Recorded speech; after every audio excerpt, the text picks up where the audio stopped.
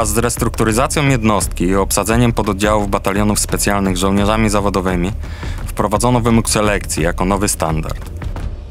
Selekcja to rodzaj sprawdzianu, czy dany żołnierz jest wystarczająco sprawny fizycznie i psychicznie oraz wystarczająco mocno zmotywowany do służby w zawodowej jednostce specjalnej.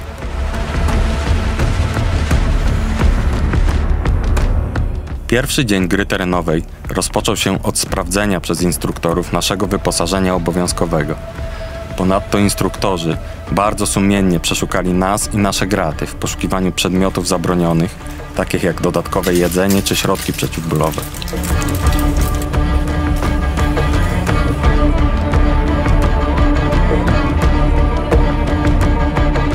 Odpowiednie zaplanowanie sobie, jak przejść selekcję, jest sporą częścią sukcesu, jednak każdy element składowy tego planu musi być przećwiczony. W pierwszej dobie odpadają zawsze goście, którzy jakimś cudem znaleźli się na selekcji przypadkiem i są totalnie nieprzygotowani do długotrwałego wysiłku połączonego ze stresem w postaci bardzo surowych i irytujących instruktorów. Instruktorzy przez cały czas trwania tego wymagającego testu budują atmosferę napięcia, stresu, niepewności i ogólnego wpływania, głównie na siebie samych lub współtowarzyszy. Ten ogólny stres budowany jest po to, aby wraz z narastającym każdego dnia zmęczeniem doprowadził do jakiejś sytuacji, która obnaży słabe strony kandydata i spowoduje popełnienie przez niego błędu, który będzie go kosztował dodatkowe kilometry lub karnego minusa. Karny minus to taka żółta kartka, którą można dostać tylko jedną, gdyż drugi minus równa się out.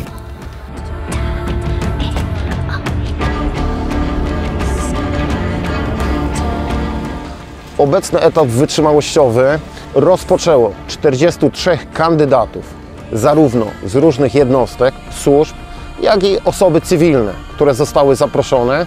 Stawili się tutaj na miejsce, zostali sprawdzeni i rozpoczęliśmy etap wytrzymałościowy e, krótkimi marszami z zadaniami, które polegały na nauce nawigacji, poruszania się na azymuty i poruszania się z mapą. Jest to etap y, indywidualny. Tutaj kandydaci na, y, w czasie etapu wytrzymałościowego są sprawdzani pod względem fizycznym, jak i psychicznym. E, Głównym czynnikiem jest tutaj przygotowanie zarówno y, fizyczne, jak i przygotowanie odpowiedniego wyposażenia i sprzętu. Część kandydatów przyjeżdża nieprzygotowana, e, mają za ciężkie wyposażenie, wyposażenie niedobrane do warunków pogodowych, i to eliminuje kandydatów z uczestnictwa w takiej grze terenowej.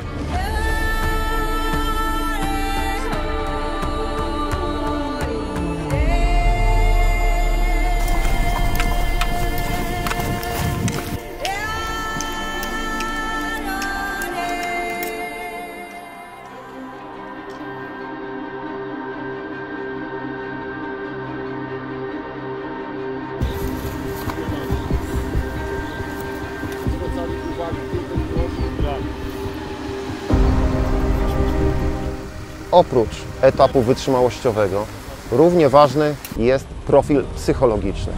Psycholog w naszej jednostce ocenia stan psychofizyczny kandydatów i sprawdza, czy nadają się do pracy w grupie i do pracy pod dużym stresem.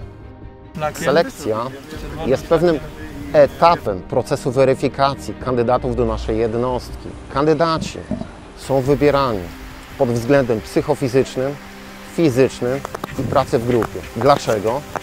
Potrzebujemy ludzi, nie indywidualistów, tylko ludzi, którzy umieją pracować w grupie. A dlaczego? Bo potrzebujemy najlepszych.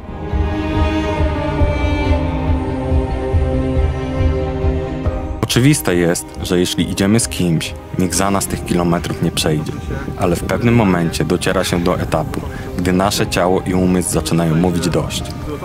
To właśnie wtedy tylko głos zewnętrzny jest w stanie zmobilizować nas do dalszego marszu.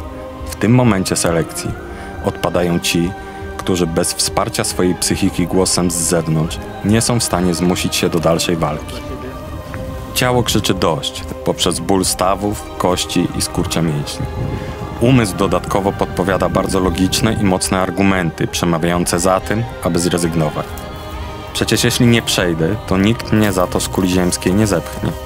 Przecież mam jakąś kontuzję, więc lepiej się wycofać i spróbować jeszcze raz później. Jestem jednak zbyt słaby. Przygotuję się lepiej i przystąpię jeszcze raz za rok. Selekcja nie służy do określenia poziomu zajebistości, tylko do wstępnego stwierdzenia, czy kandydat ma cechy, które pozwolą mu sprostać trudnościom zadań, z jakimi przyjdzie mu się mierzyć w przyszłości, jak również czy sprosta trudnościom szkolenia, które często jest równie wymagające jak zadania bojowe.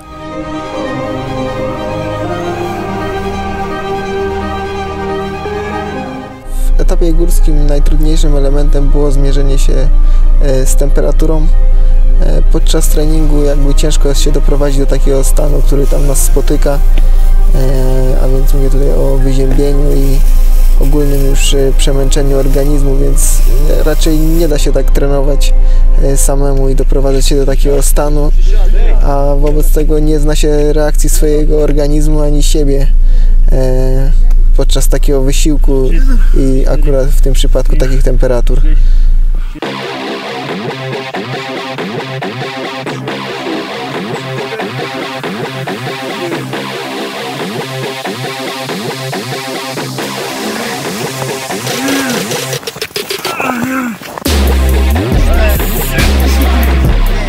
Największym problemem etapu górskiego i ogólnie selekcji jest to, że no nie wiemy z czym będziemy się musieli mierzyć, e, a instruktorzy potrafią zaskoczyć różnymi zadaniami.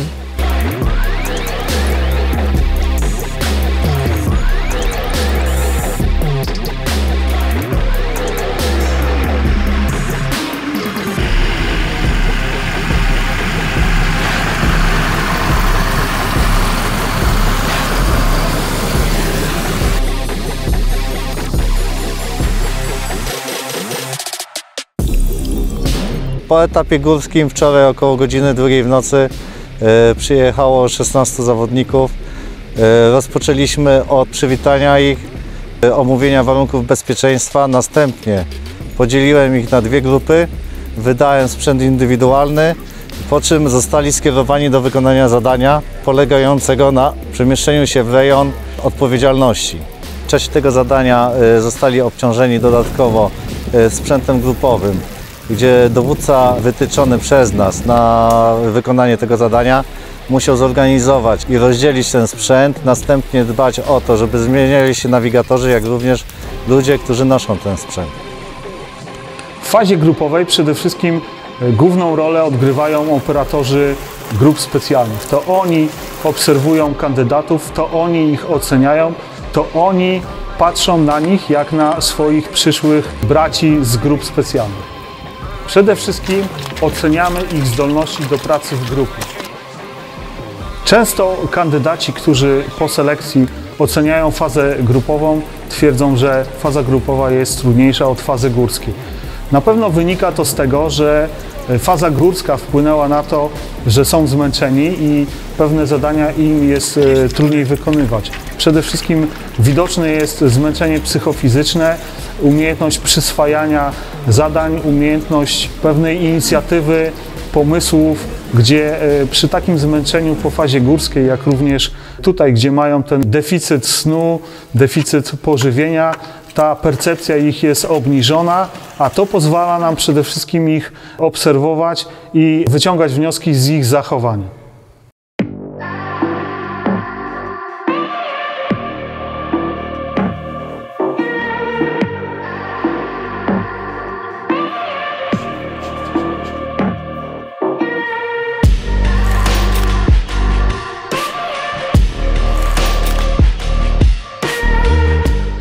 Selekcję do jednostek specjalnych przechodzą ludzie, w których odzywa się jeszcze jeden głos.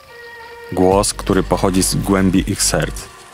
Z głębi serc wojowników, którzy potrafią walczyć z samym sobą, ze swoimi słabościami, ze swoim bólem i wątpliwościami. Selekcję do jednostek specjalnych przechodzą ci, którzy potrafią walczyć o coś, co umysł uznaje za nieosiągalne, oraz ci, którzy potrafią przekraczać granice swoich możliwości, gdyż wiedzą, że są to granice wyznaczone tylko przez ich umysły. Selekcji do jednostek specjalnych nie przechodzi się siłą mięśni, a sercem do walki. To ludzie z duszą i sercem wojowników są poszukiwani i wybierani do służby w jednostkach specjalnych, a selekcja umożliwia wyłonienie tych właśnie wojowników z grona sportowców.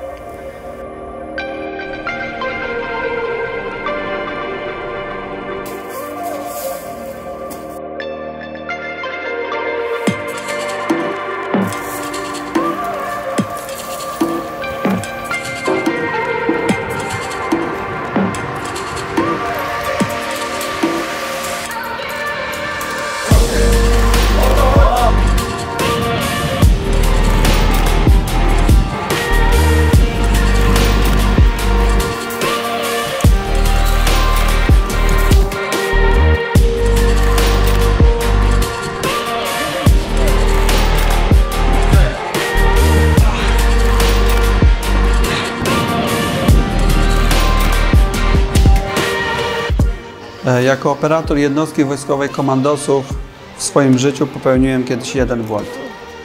10 lat za późno podjąłem decyzję o wstąpieniu w szeregi jednostki wojskowej komandosów. Było to związane z obawami, jakie miałem, że nie podołam pewnym wymaganiom, nie sprostam tym wymaganiom.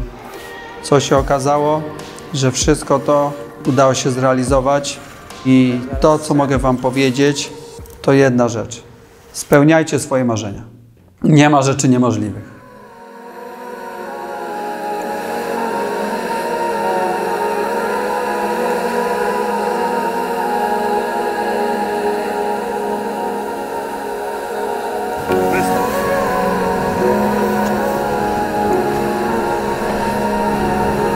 Numer 31. Kiedy znajdujesz się?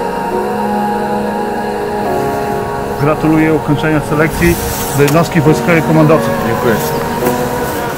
W różnych jednostkach specjalnych na świecie selekcje odbywają się w odmienny sposób, ale we wszystkich tych selekcjach chodzi o to samo, czyli doprowadzenie kandydata do jego fizycznych i psychicznych granic i sprawdzenie, czy ma on na tyle wewnętrznej siły i odwagi, aby tę granicę przekroczyć i wstąpić do mistycznego świata współczesnych wojowników. Przekroczenie tej granicy i wstąpienie do tego świata nie czyniło jednak z nikogo superwojownika jak za dotknięciem czarodziejskiej różdżki. Droga do bycia wojownikiem jednostki specjalnej, operatorem, jest długa, często bolesna i to nie tylko fizycznie.